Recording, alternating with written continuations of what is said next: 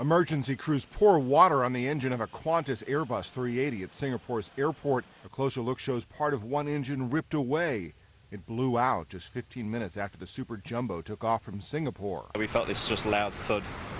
Um, you know, everybody sort of was pretty shaken by it, so you can imagine how, how pretty full on it was. Yeah, I just heard a massive bang. It's like a shotgun going off, like a big bad, like a, a big bad gun.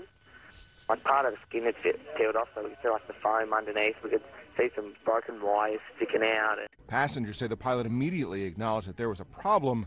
The plane carrying 459 people dumped fuel, then returned to Singapore 90 minutes after takeoff. Well, that was a bit bumpy because the aircraft's slowing down, so it's it's unstable. So more unstable, but because of the damage as well, it just made things a little bit more exciting on the way down. Some damage was also visible on the wing. On the Indonesian island of Batam, residents and officials picked up more than 100 pieces of debris. At least one large piece of metal bore the distinctive red and white Qantas markings.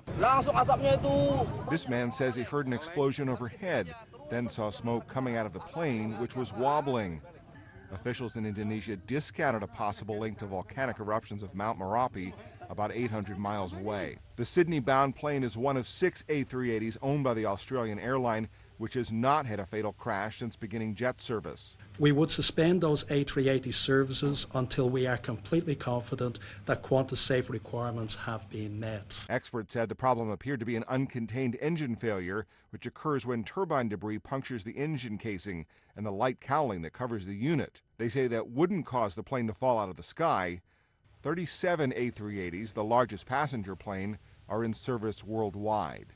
Matt Friedman, The Associated Press.